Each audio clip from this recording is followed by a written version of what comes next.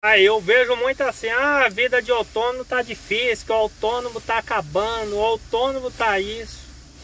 Sim, eu concordo. Para aqueles que trabalham fora do preço, que não briga por preço, eles estão se acabando.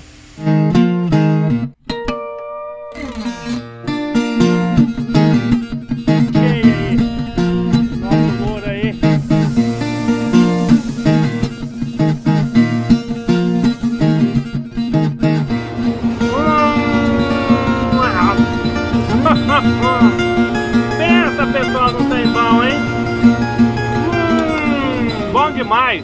Até lá no...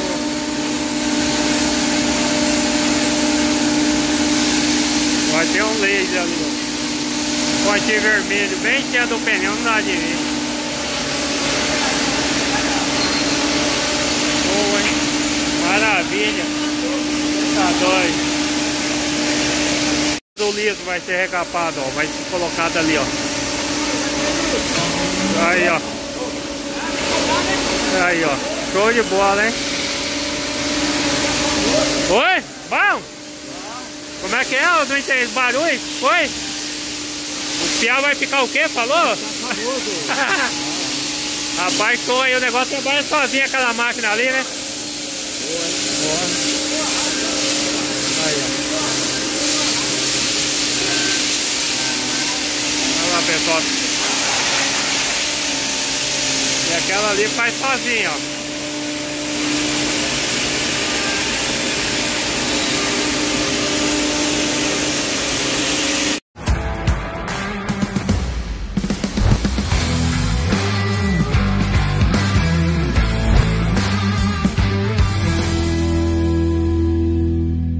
Olha como é que funciona aqui um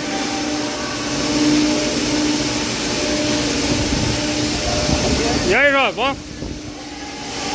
E aqui é sozinha. É, aqui é sozinha também, extrusora de última geração. É. Aí como é, o pneu passa lá na frente lá, tira, faz o. Ó, e vem, ele vem vindo. Vem vindo. Tira a borracha, ah. raça no torno, aí faz a escariação. Primeiro vai na examinação Sim. inicial, raspagem lá, escariação, aplicação de cola, daí manchão, que tem reparo, ah. daí aplicação passa no extrusor, aplicação de banda e vai até na montagem lá. Até não? Depois máquina, dá nove processos até o processo Nove processos. Rapaz, estou, hein? E a maioria é uma automatizada, assim. Top demais. Eu nunca tinha visto, não. Ele vai enroletar aqui. Tudo automatizado. Aí, ó. Show demais. E aí, aí é o mais famoso. Tem é?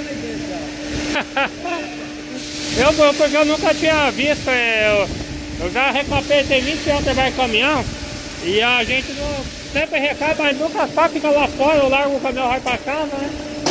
Aí, mas é show demais, cara, é bem, é bem legal aí o, o sistema. Aqui, essa aqui, ó, aí nós não aplica ligação, né? Porque é moderno, ah, sim. daí ela faz o processo ah, sim. Está todo prontinho para assim. Ah, sim. Não, show de bola.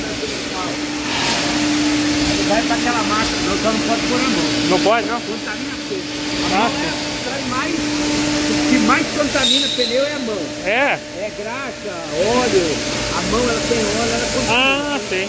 Ah, é verdade, aí ela não cola direito pôr a mão aqui é capaz dela soltar. Por isso que solta muito pneu.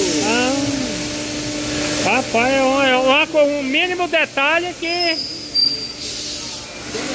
Qualquer furinho que tá, ele dá ar, solta. Pois é. Tá, mas show demais, hein? Né? Eu já foi pra lá. Aqui, você vai colocar outra. Só aperta ali o botão e ela manda a bola. Manda a bola e faz. E essa aqui é, a, a, a, é aquela capa que põe lá para ficar lisinho, igual aquela lá. É. As máquinas aqui, quem tem aqui é só aqui no Mato Grosso, foi primeiro nós, agora o Senna tem também, né? Tem. Ah, sim. Agora já estão colocando Ah, tá. E ali é para ir pro forno, como é que é? Está envelopando, está envelopando ele, tira todo o ar da... da tira todo o ar, ele fica sugado, daí ele vai para a máquina para ele ficar lá dentro sugadinho. É, né?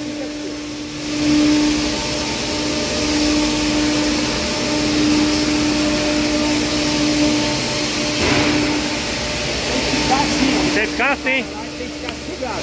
Se ele furar aqui, perde o pneu. Perde o pneu. E aí levanta a banda. É bem, é bem. Daí, a hora que sai de lá, essa capa, você daí tira ela, ela... Tira ali, ó. Ah, tira.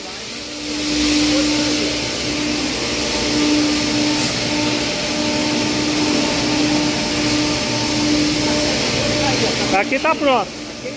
Quentinho. Agora tá examinando aí. Que- Rapaz, que... que aí? Tá lá, tá sugando ali, né? Olha só, rapaz. Aqui. Aí, galera, é isso aí, ó. Uma recapagem, um, uma cobertura de pneu, depende da região do país, fala. É, o meu vai ficar assim. Eu botei quatro borrachudos que eu tô vai fazer. Rapaz, é boa, hein? E tá que- quente, ó. Mormo. Fica 110 graus aí por 4 horas. Por quatro horas aqui. Rapaz. Fica aqui, ó, vamos ver essa aqui. Fica aqui até... Fica aqui, ó.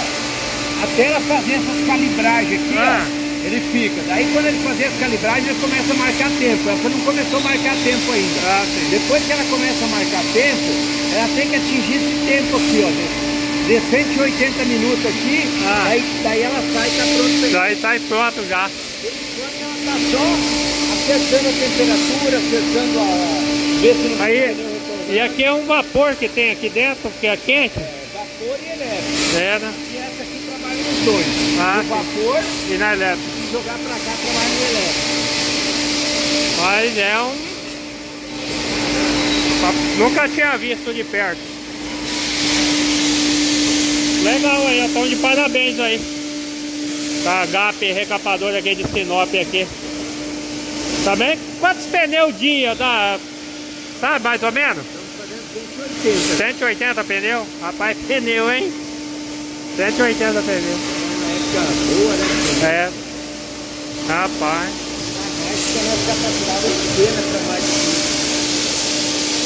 Pois é, vai. Pra todo lado você olha, tem o pessoal trabalhando e. E desde cedo eu tô vendo, não para um minuto a turma aqui. É sempre. É, é verdade. Como é que é o nome do senhor mesmo? Adair, Adair. Adair?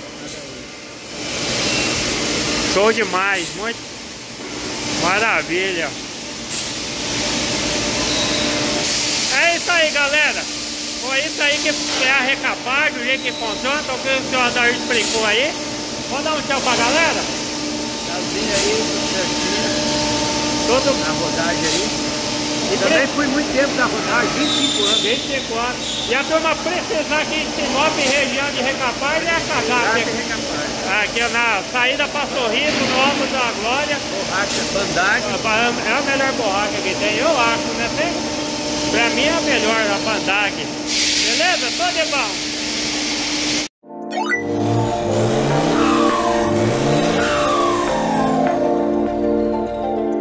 Essa máquina aqui ela sozinha, automatiza, qual é seu nome? Tudo automático, meu nome é Mauro. Mauro? Ô Mauro, Eu fiz lá. é, você é igual, beleza. Então, é tudo automático, vem aqui. Alguém tem que conhecer a, Ah, cada carcaça, é assim, cada carcaça tem um tamanho diferente. sim, Aí eu jogo aqui a largura da carcaça, o raio, o caso se for borrachudo, o raio 30, se for liso, o raio 26, largura, o comprimento, o ângulo que vai quebrar, mas é tudo automático. ah, sim. Rapaz, show demais, hein? Eu vi ela trabalhando ali, eu falei, cara, que bacana. Mas beleza, amor, obrigado, obrigado por seguir a gente aí, tá? Ei, galera. Tive que comprar dois aqui, ó. Comprei dois brilhos aqui, novo. Esses brilhos, vou pôr aqui num lugar aqui, ó. Esses dois da dianteira eu vou colocar no truque do cavalo. Esses do truque do cavalo, colocar lá no primeiro eixo. Aí esse daqui, pessoal, não deu recap, não deu cobertura. Esse pneu aqui não presta. Daí o que acontece? Se é na beira da estrada, o cara conserta, faz uma gambiarra e vende pro cara aí por 800 reais, 900. O trem não anda aí 20, 30 quilômetros e estoura. Por isso que uma viagem uma vez, eu gastei 9.800 reais numa viagem por Nordeste, comprando pneu assim, ó, de borracharia velho, pneu velho. Muitas vezes eu vejo as pessoas falar pro Lacão, eu não tenho condições de comprar pneu novo pro caminhão. Só compro pneu velho de borracharia, eu entendo. Só que o dia que eu comecei a comprar novo, hoje o meu caminhão tá tudo pneu. Agora que tá sendo recapado os quatro da tração. Mas eu vou falar pra vocês. Aí, por isso que o cara faz um conserto, tá vendo isso aqui, ó? É tudo marca, ó, pra fazer, ó. E esse daqui tem um aqui, tá um, um rebentado por dentro. Aí, o que que eu vou fazer? Eu vou levar pra casa pra nós fazer uns aterros que eu tô fazendo uma ponte lá. Vou pôr esses dois novos aqui, ó, na dianteira. E é isso aí, ó. Por isso que eu falo, pessoal, tem que ser pneu, ou comprar pneu de verde estrada. Você vê aqueles pneus, passa limpa, chega a passar tinta, deixar bonito. Mas daí pipoca. Tá aí. É difícil. É galera. Tive que comprar dois aqui, ó. E comprei dois brilhos aqui, novo. Esses brilhos vou pôr aqui num lugar aqui, ó. Esses dois da dianteira vou colocar no truque do cavalo. Esses do truque do cavalo colocar lá no primeiro eixo. Aí esses daqui, pessoal, não deu recap, não deu cobertura. Esse pneu aqui não presta. Daí o que acontece? Se é na beira da estrada, o cara conserta, faz uma gambiarra e vende pro cara aí por 800 reais, 900. O trem não anda aí 20, 30 quilômetros e estoura. Por isso que uma viagem uma vez, eu gastei 9.800 reais numa viagem por Nordeste, comprando pneu assim, ó, de borracharia velho, pneu velho. Muitas vezes eu vejo as pessoas falar pro Lacão, eu não tenho condições de comprar pneu novo pro caminhão. Só compro pneu velho de borracharia, eu entendo. Só que o dia que eu comecei a comprar novo, hoje meu caminhão tá tudo pneu. Agora que tá sendo recapado os quatro da tração. Mas eu vou falar pra vocês. Aí, por isso que o cara faz um conserto, tá vendo isso aqui, ó? É tudo marca, ó, pra fazer, ó. E esse daqui tem um aqui, tá um, um rebentado por dentro. Aí, o que que eu vou fazer? Eu vou levar pra casa pra nós fazer uns aterros que eu tô fazendo uma fonte lá. Vou pôr esses dois novos aqui, ó, na dianteira. E é isso aí, ó.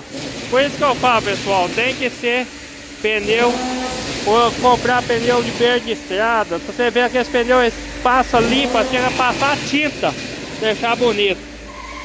Mas daí pipoca. Tá aí. É difícil. Aí eu vejo muito assim, ah, a vida de autônomo tá difícil, que o autônomo tá acabando, o autônomo tá isso. Sim, eu concordo. Para aqueles que trabalham fora do preço, que não briga por preço, eles estão se acabando. Sinto muito. Mas olha só, Vou recapar pneu. Oito pneus. Pra vocês verem. A minha bateria deu pau hoje. Se fosse há quatro anos atrás. Ah, mas você tem patrocínio, você vive do YouTube. Ai meu Deus, se eu fosse viver do YouTube. Não vou comprar nenhum pneu que eu comprei agora de 3.200 reais.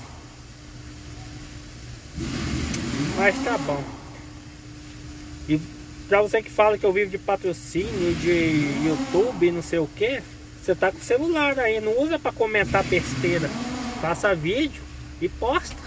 Que daí você também vai ver como é que vive também. é só trabalhar, procurar o frete, o cara vir ofertar frete ruim para você, não carrega. Eu fiz safra por mês, soja, milho. Graças a Deus hoje eu tô conseguindo para arrumar meu caminhão, pagar minhas continhas. É isso aí, é a lição que eu levo da vida.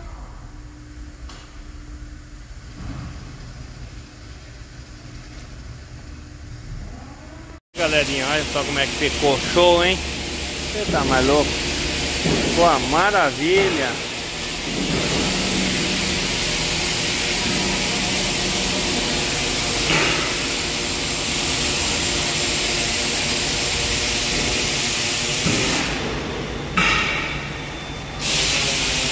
É, já os pneus já tá pondo no lugar, ó. Já ficando 100%.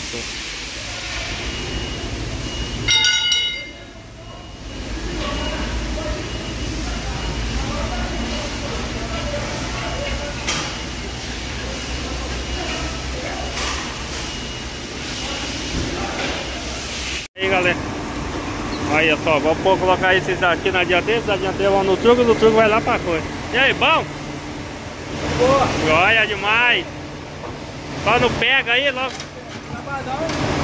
Pois é. Aí, ó. Fazer o sextou, o cara trabalha até alegre.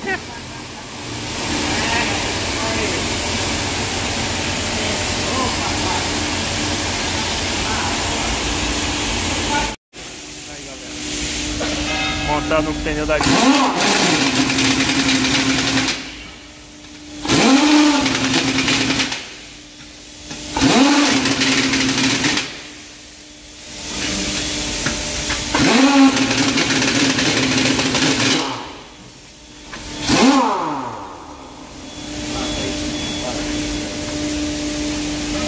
Isso aí tá rodando?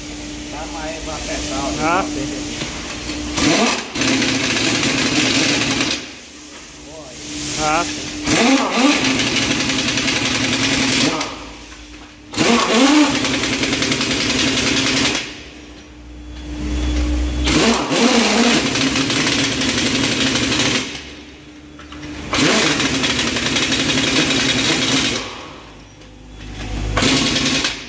Aí, ó, cem por cento.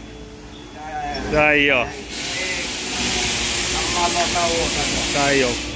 E aqui o pessoal fizeram, ó, para não carregar a máquina e nem deixar a máquina no chão, ó. Olha o que fizeram.